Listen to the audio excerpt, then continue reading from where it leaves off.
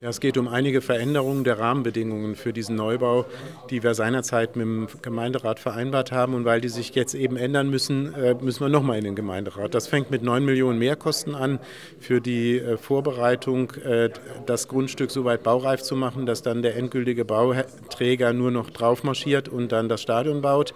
Ähm, und das führt dazu, dass der Anteil der Stadt, der nicht refinanziert wird, nochmal um 9 Millionen ansteigt. Ja, wir haben unseren Beitrag geleistet. Äh, erstens mal sind wir einverstanden damit, dass das gesamte Budget um 3 Millionen reduziert wird, ohne jetzt konkret zu werden. Äh, und andererseits haben wir, was die funktionale Leistungsbeschreibung anbelangt, wesentliche Reduzierungen zugestimmt, was Flächen anbelangt, sowohl in den Provisorien, das heißt den Bereichen für die Businessbesucher ähm, während der Bauphase, aber auch anschließend im eigentlichen Businessbereich, im Küchenbereich, in der Gaststätte, also in verschiedenen Bereichen haben wir da zugestimmt, dass es etwas kleiner werden kann, haben zugestimmt, dass es statt 35.000 Zuschauer 34.000 Zuschauer fassen soll, das zukünftige Stadion und äh, haben dann als nächsten Punkt zugesagt, dass wir äh, prüfen, ob wir die Finanzierung des Parkhauses selbst übernehmen, also rauslösen aus dem Budget, was eben nochmal ein größerer Millionenbetrag äh, des Budgets entlasten würde. Und die Prüfung soll auch bis Juli abgeschlossen sein.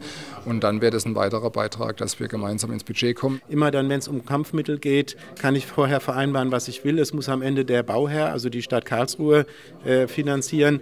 Und äh, wenn es aber wegen Kampfmittelräumung zum Beispiel zu Zeit Zeitverzug kommt, dann wird wieder der Bauträger, also die Baufirma, auf uns zukommen und sagen, drei Wochen Zeitverzug kostet mich am Ende so und so viel mehr, das müsst ihr jetzt noch zusätzlich zahlen.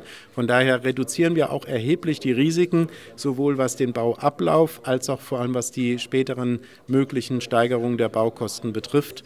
Und ob das am Ende 9 Millionen zu 9 Millionen sind oder wir vielleicht am Ende nicht sogar günstiger liegen mit den 9 Millionen heute, das werden wir nie rausfinden. Aber es ist auf alle Fälle für alle Seiten am Ende eine deutliche Erleichterung und eine deutliche Risikominimierung.